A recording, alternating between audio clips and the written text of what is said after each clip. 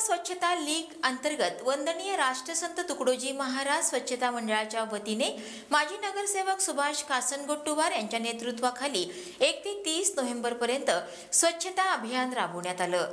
या अभियानात शंभरच्या वर स्वच्छता दूतांनी तुकुम प्रभागातील आणि चौकात स्वच्छता प्लास्टिक मुक्त वेस्ट ऑफ वेस्ट कंपोस्टिंग अभियान राबवलं. शेवटच्या दिवशी तुकुम येथे मातोश्री विद्यालयापासून जनजागृती रॅली काढण्यात आली. यात महिला पुरुष आणि लहान मुलांनी महापुरुषांची वेशभूषा परिधान करून सर्वांचं लक्ष वेधलं. या कार्यक्रमाला प्रमुख पाहुणे म्हणून मनपा आयुक्त विपिन पालिवाल डॉक्टर प्रेरणा कोलते अखिल भारतीय गुरुदेव सेवा मंडळ सर्वाधिकारी गुरुकुंज मोजरी लक्ष्मणराव गमे यांची उपस्थिती होती. कार्यक्रमाची सुरुवात सामूहिक प्रार्थनेने करण्यात आली.